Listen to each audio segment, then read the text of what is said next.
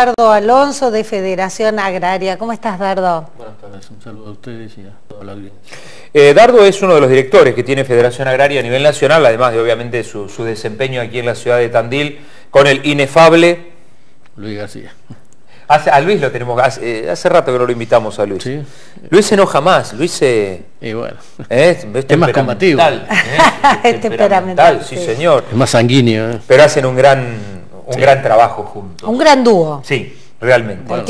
hay, otra gente atrás también. Claro, hay mucha gente. Hay componente femenino que gracias a Dios en nuestra entidad se, caracteriza por, desde hace mucho tiempo, tener muy luchadoras.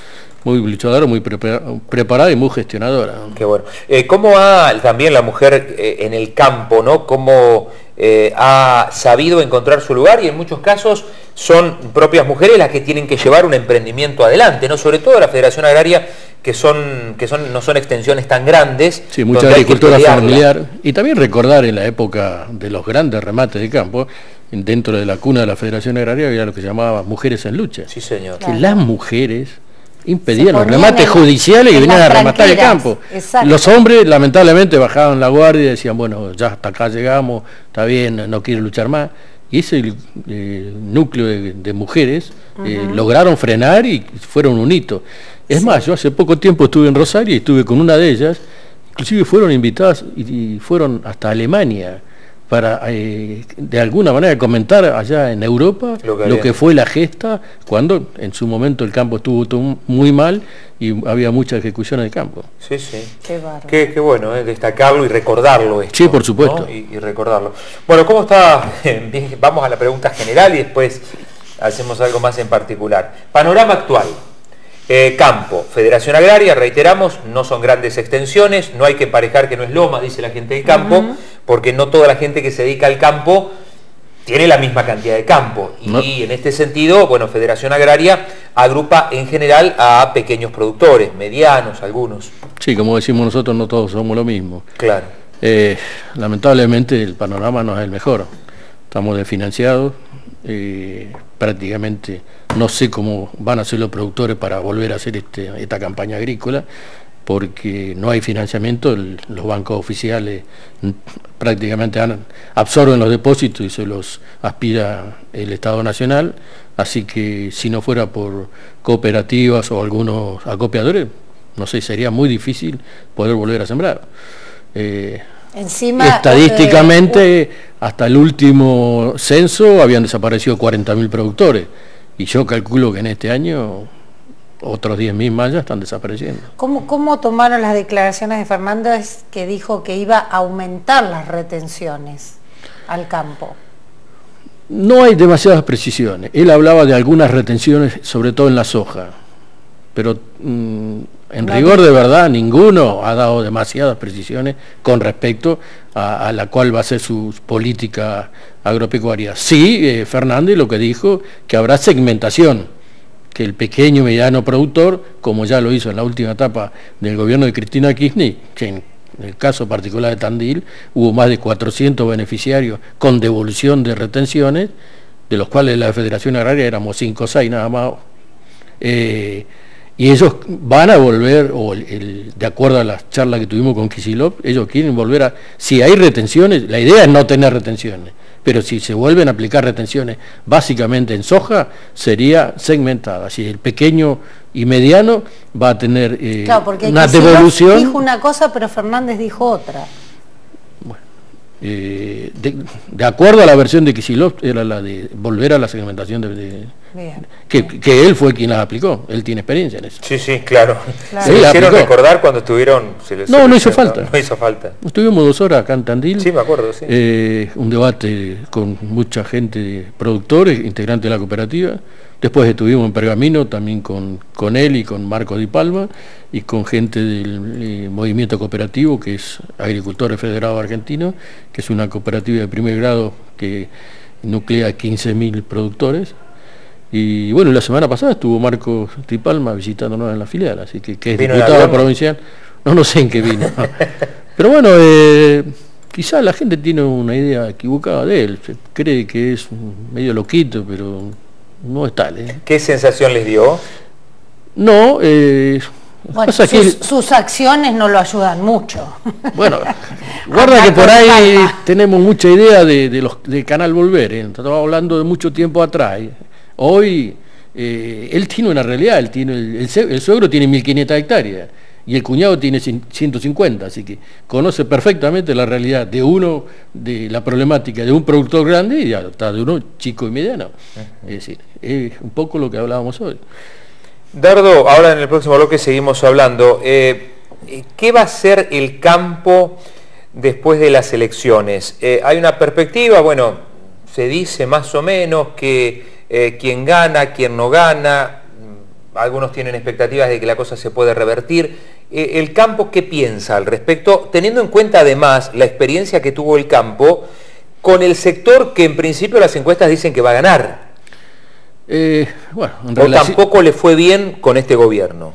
Exactamente, es decir, eh, hay prejuicios y hay elementos para no eh, aceptar la política agropecuaria aplicada en aquel momento. en las reuniones que tuvimos con Kisilov dijeron que se equivocaron y quieren y para ellos el campo no es el enemigo. Y les digo otra infidencia, que lo dijo Kisilov, cuando estaba Lustó, iba a aplicar la resolución 125, le preguntaron, ¿vos eh, estuviste hablando con todas las entidades, esto está conversado? Sí, sí, ningún problema.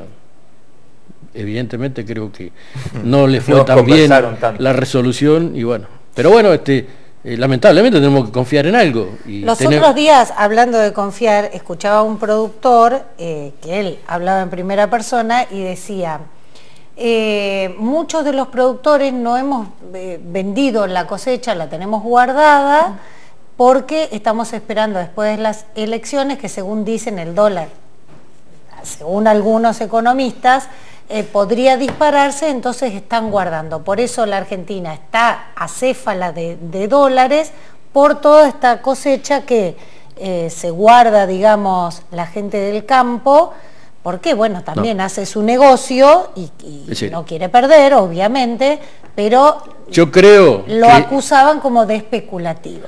Creo que el, productor, el único residuo que tiene es el cereal que tiene en su acopio o en la bolsa. Pero cuidado, el gobierno anterior había una resolución a los exportadores que le decía que las divisas había que liquidarlas a los 180 días. Esta gestión, en noviembre, diciembre del 2017, le dijo a los exportadores que podían liquidar a 10 años. Ese desfasaje de falta de divisa significó de que los exportadores, no los productores, el que se la puede aguantar, el que se la puede aguantar la tiene guardada.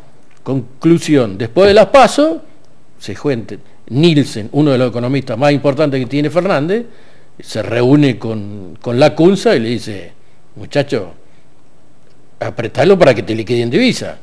Y oh caramba, la semana empezaron a liquidar divisa. Digamos todas las cosas que tenemos que decir.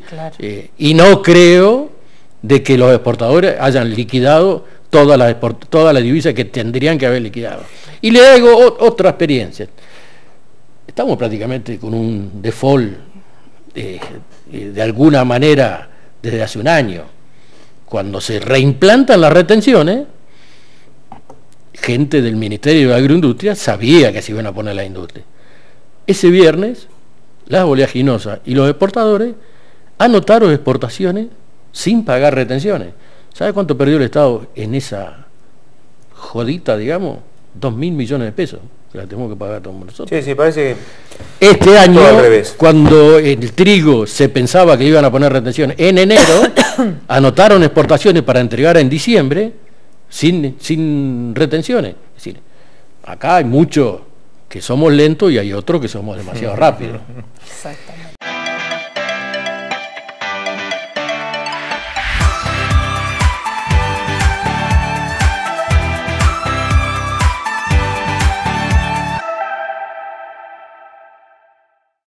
Eh, dicen acá, dice Vivi, ese productor que mm, especula con la venta de cosecha, seguro que no es socio de Federación Agraria. Dice, nuestros socios apenas pueden sembrar. Abrazo Ceci, Claudio y Dardo. Eh, Eso, Vivi. Y es cierto esto que decía Dardo en el final del bloque anterior, ¿no? Una cosa es... Em, Por eso hago la diferencia perdón Claudio, porque em, salió todo este tema la semana pasada, salió todo este tema que vos dijiste, eh, salió por todos lados y la gente cree que todos tienen sus acopios guardados. Y una cosa, perdón, eh, ahora cerramos todo. Eh, una cosa es lo que decía Dardo, o lo que dice Ceci, los que pueden tener acopio en, en su campo de cereales, que además uno se pregunta, caramba, ¿no es legítimo? Digo, así como unos ahorran en dólares, un productor agropecuario no puede ahorrar en soja eh, para ir pagando mes a mes los gastos que tiene. Pregunto, a modo de pregunta. Pero la otra es lo que decía eh, Dardo, es que en realidad la mayoría de ese cereal no están en los campos, lo tienen los eh, exportadores y que van especulando y que no es la, a ver, no es el productor agropecuario, son los exportadores, ¿está claro? Son cosas eh, diferentes. Lamentablemente, hay algunas firmas cerealeras, sobre todo en la provincia de Santa Fe, que han hecho un desastre. Eh, ¿Qué pasa? Dan condiciones mucho mejores que las cooperativas o algún acopio tradicional, mejores comisiones, menos flete entregan el cereal y hoy se, están encontrando con, eh, no les pueden pagar, no los pueden encontrar, y estamos hablando de, cifras millonarias. Y el, la cosecha es la forma de financiamiento que tiene el, productor que puede guardar la cosecha. Muchos de los pequeños por ahí la tienen que mal vender o vender anticipadamente para poder sembrar. Y bueno, si algo le sobra, eh, lo guarda para financiarse durante todo el año. Correcto. Sin dudas. Sí, Ese es todo un debate. hacer la diferencia, ¿no? Un productor de 200 hectáreas no puede guardar nada. No puede guardar nada, no puede tener un empleado en blanco. Estamos hablando en condiciones normales con una buena cosecha. Hoy un productor que tenga 200 hectáreas puede sacar un ingreso similar al de un empleado de comercio, teniendo un capital millonario en dólares.